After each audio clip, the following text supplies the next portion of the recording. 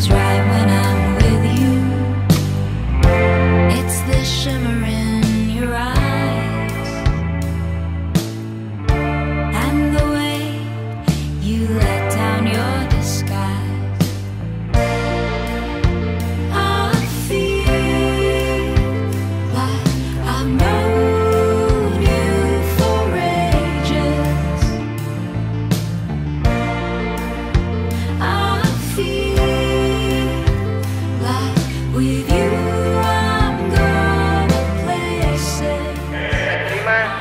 Dan kawinnya Dinda Astuti binti Ito Kuno untuk diri saya dengan mas kawin tersebut dibayar tunai.